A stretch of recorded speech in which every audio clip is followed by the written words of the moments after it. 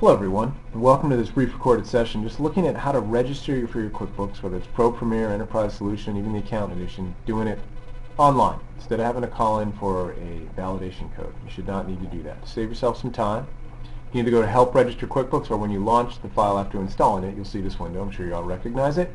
Click Begin Registration. It's going to contact our server and have you log in with your account. Just, if you don't have one, create one here, or hopefully you remember your username and password. Could be your supervisor login, that's the one I use. Then it asks you basically for your business phone number and zip code.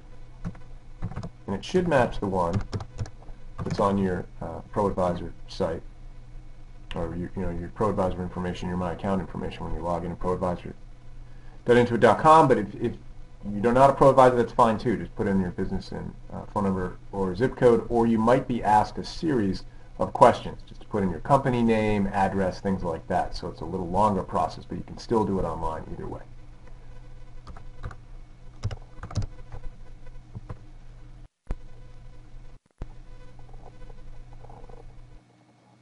And then once you click continue, whether you go through longer questions or just put in your zip code and uh, phone number, then step three, your registration is now complete. Now you can go ahead and start using QuickBooks. So it'll save you some time. You don't have to call in to wait on hold just to get a validation code just to in order to register your QuickBooks product.